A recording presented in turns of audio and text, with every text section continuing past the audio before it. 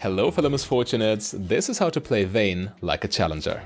Vayne is a very interesting champion because unlike most others, she doesn't rely on getting fed early on in order to dominate the late game. Merely staying alive and getting lane experience and some minion gold is more than enough to carry because you simply have so much damage in your abilities. Regardless, our challenger player here is taking full advantage of Leona's engages, and you shouldn't be afraid to do that either.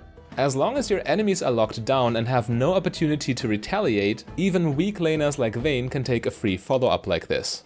However, there is a reason your laning with Vayne is not exactly the strongest and you should definitely keep that in mind. Vayne's range is only average and her abilities are entirely all-in focused, and your most important damage spell W won't do all that much without any attack speed items.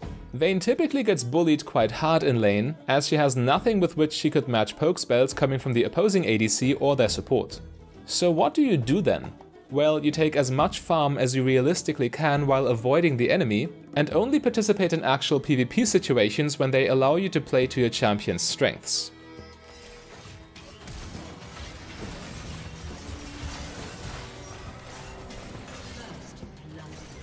Amumu got caught trying to ward the river here, and Vayne and Leona were able to go all in before Aphelios even had the chance to help his ally. Especially with Press the Attack, Vayne's best keystone in my opinion, your early game burst damage is way higher than most enemies would expect from a late game champion like this. Yes, I've just told you that your objective with Vayne in the early game is merely to survive, but picking up first blood here will go a long way, because, well, spoiler, our challenger player's teammates will be pretty much useless in this match when it comes to actually dealing damage.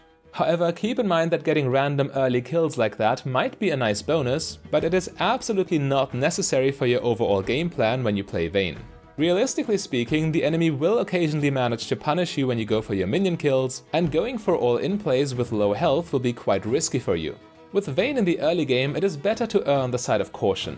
And you also better expect to get bullied by everyone. All 5 enemies will try to delay your godlike late game as much as possible.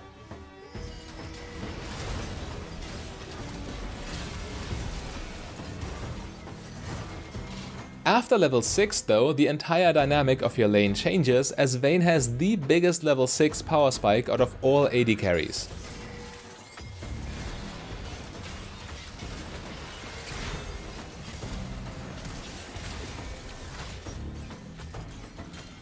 Yeah, just one opening is all our challenger player needs to take full advantage of this crazy skirmishing tool. If you have made it this far into your Vayne game, then you've already survived the worst part. From here you better get ready to pop off. But before you can do that, we also have to talk about Vayne's item build of course. Our challenger player typically goes for a full crit build with shield bow and rage blade. In this game specifically, they also bought Wit's End because the enemies have picked Cassiopeia and Ryze for their solo laners. However, beyond its magic resist component, Wit's End is an amazingly strong AD carry item in general right now, and even more so when your champion synergizes with on-hit playstyles to begin with. In my opinion, you can buy this item on Vayne every game, but just keep in mind that our challenger player here typically goes without it. Okay, so how do you play teamfights in the mid game? Well, pretty much like this.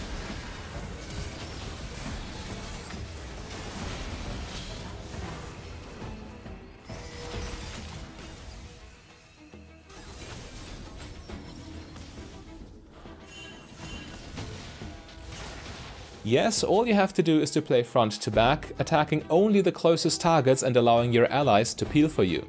It doesn't exactly matter who this closest target is, since not even the biggest tanks can withstand your damage. So staying as safe as possible is your number one priority. Anyway, despite getting some nice picks here and there, blue team is actually at a huge disadvantage right now. The biggest indicator of this is their mid lane tower difference. When you lose your mid lane tower and the enemy gets to keep theirs, the enemy automatically gets full control over Dragon, Rift Herald and later Baron. The reason for this is that the minions are constantly on your side of the map granting the enemy free vision, while their mid lane tower also prevents you from invading their jungle. In a rather desperate attempt to draw level with the enemy, Vayne's jungler even feeds them a free kill. Brute forcing your way through a game in this fashion simply doesn't work. You have to first win a team fight and then take the objective afterwards while your opponents are still dead and cannot contest you for it. Especially when playing Vayne, being proactive only works if you can force an enemy into a 1 versus 1 situation, while you absolutely know for sure that there are no other enemies nearby that could come to their help. For the most part, you should stick to a reactive playstyle, and simply follow up with your enormous DPS when one of your teammates catches an opponent with their crowd control, or even vice versa. Then you have full permission to go wild.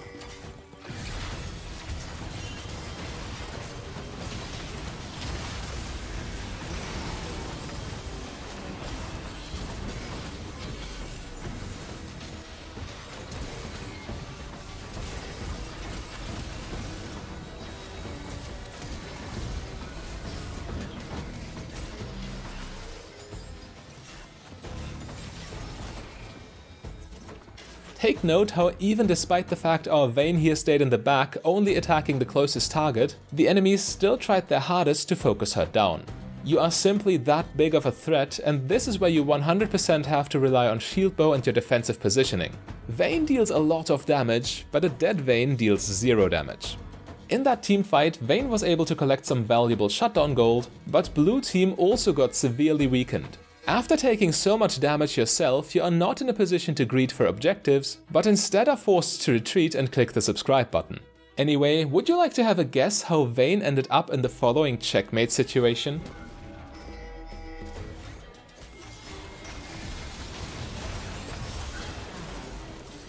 If your guess involved mid lane tower difference, then you are correct. It is really that bad, and more often than not will you end up overextended without knowing, simply because the enemy will have so much map pressure and free vision control. In this game, the weight of the entire team is on Vayne's shoulders, and her being dead straight up gives red team a free Baron. The situation is getting much worse because of that, since instead of potentially breaking even in terms of mid lane towers, red team is likely to put their Baron minions to use and push for blue team's inhibitors. Our challenger Vayne player, however, is having none of that.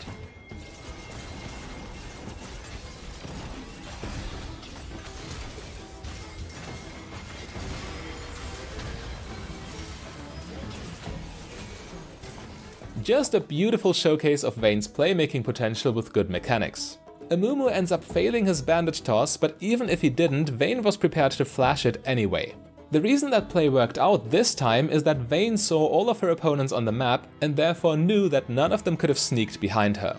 And yes, they finally took down that mid lane tower. By accelerating her late game power spikes like this while at the same time getting rid of the opposing Baron buffs, Vayne was able to instantly make up for her mistake and she can now meet the enemy on even ground again. And this time it is the enemy's AD carry who ends up overextended.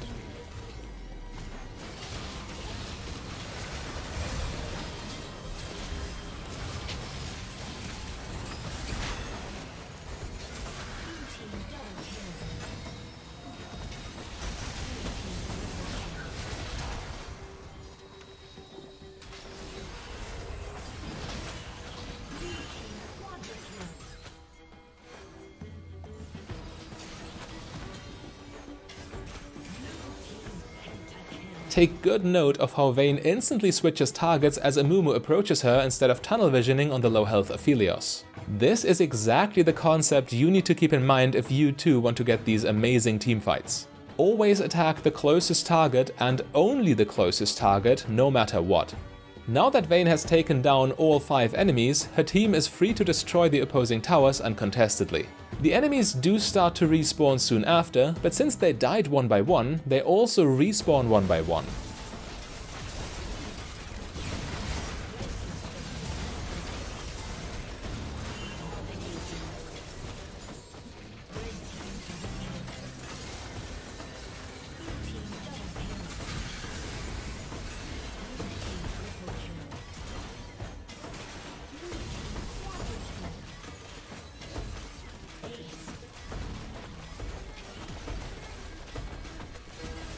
Due to their delayed respawn timers, the enemy couldn't group, which means Vayne can take them down again and ultimately destroy the Nexus. Now playing the lane phase with Vayne is especially difficult, but if you want to make it easier for yourself, you can refresh your general ADC laning skills by clicking the link on your screen right there.